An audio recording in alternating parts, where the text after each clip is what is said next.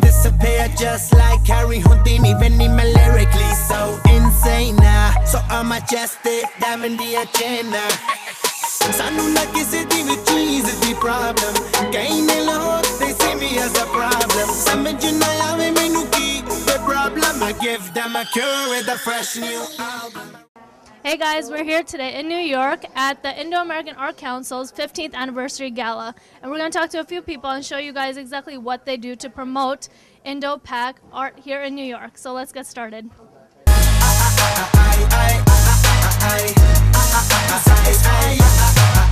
I've got an amazing team. I've got an amazing entertainer, Paul Williams, with Kenny Asher, and I've got a superb uh, fashion show. So it's going to be stupendous.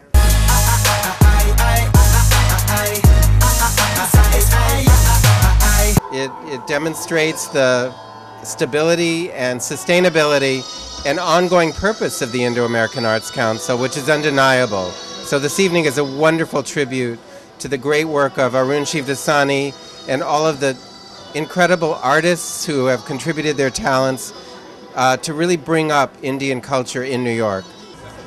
Young South Asian that I meet who have questions, I am so glad to talk with. I just went to Northwestern and I did a talk with a whole load of young uh, Desi college kids, and it was refreshing and wonderful to talk to um, all of this wonderful, uh, bubbling young youth.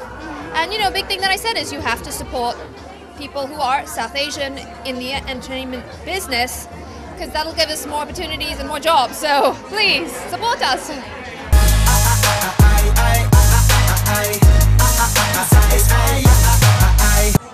And why do you think that? Um, what's your contribution to this organization? You know, I really always support um, South Asian artists just as much as East Asian artists. I'm here with my dear friend Reshma Shetty, and um, yeah, I just I love to see artists grow and flourish, and I'm a big fan of you know South Asian culture and, and what it's brought into my life and inspired me, and like to see how different artists bring in different cultural influences and stories to share. Um, I think it's important because we have a very small community of artists in the United States or you know internationally, and uh, when you have a small community, especially when you're in the arts, the only way you can do it is if you support each other.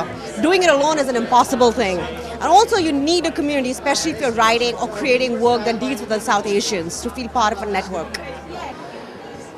I like the idea of promoting good talent, you know, whether it be South Asian or anything else. But what's really special about being here and being at IAAC is that it does create, it gives us an adda, you know, it gives us a place to be where we can see South Asian talent, whether it be film or song or dance, uh, in the most cutting edge version of itself uh, in a place, you know. So uh, I really support IAAC for that reason, and I think, you know, one must support good talent, you know, not just simply because we're South Asian, but because we're exciting.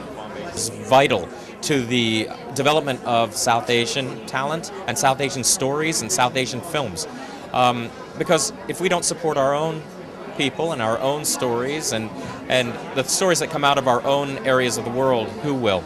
And it's because of Indo American Arts Council, Aroon Shivdasani, that so many of our stories have, have sort of gone out into the world and become world stories as opposed to just simply South Asian stories.